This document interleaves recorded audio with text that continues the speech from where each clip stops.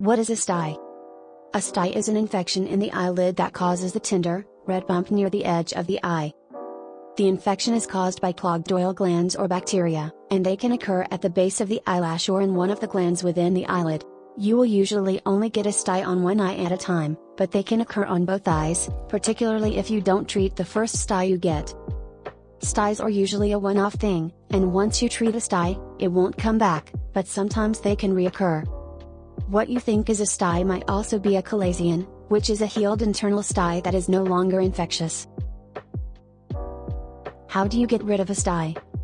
Although most red bumps near the edge of the eyelid are harmless, and often not styes at all, they usually heal on their own in a week or two, but a stye can be a nuisance.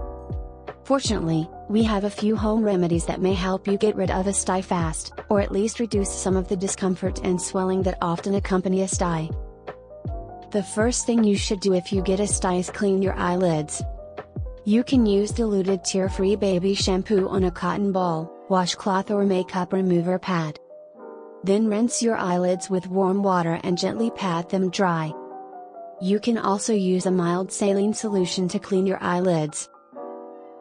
Wash your hands before and after touching the stye, and don't share your towels or washcloths with others. Use an eyelid cleansing pad. Pre-moistened eyelid cleansing pads are another option. You can find these non-prescription items in most drugstores. Stop wearing eye makeup. It's wise to stop wearing eye makeup when you have a stye because covering it up can delay the healing process. Also, throw away old makeup or applicators that could be contaminated. It's not a good idea to wear contact lenses if you have a stye as it may increase the discomfort and if the stye bursts, can get bacteria trapped under your lens.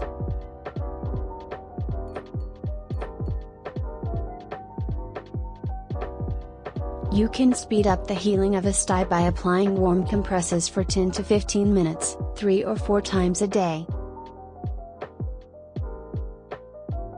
Some people use tea bags to treat styes, but a basic clean washcloth dipped in warm water will do the trick. Wring the cloth so it is not dripping, then place it over your closed eyes. If you want to try a tea bag, wait until it cools so it is warm, not hot, and keep it on your eyelid for about 5 to 10 minutes. Use a different tea bag for each eye if you have more than one stye.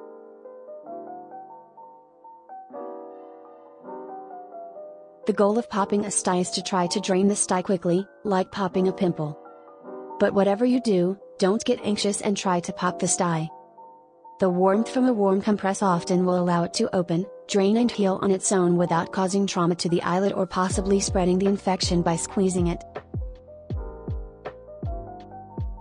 While you can use over-the-counter antibiotic creams to help heal a sty, make sure you use creams specifically made to be used in the eye and avoid topical steroids.